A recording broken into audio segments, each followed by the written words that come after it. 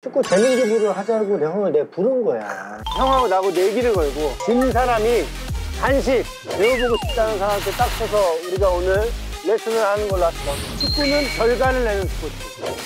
그렇지! 또, 또 접근! 수 있고 여기도 수 있고. 점점을! 점점을! 여섯째 안 낳겠다고? 지금 벌써 여섯째 이야기해? 이제 5개월밖에 안 됐는데? 어딜 일어나 또. 제 여섯째는 굉장히 반대하는 마음입니다. 저는 가질 거예요. 메리 크리스마스. 산타 할아버지 하고 불러준대. 산타 할아버지 알고 계신데 어, 소원 있는 사람 군대를 가고 싶어요. 오늘 밤을 다녀가신대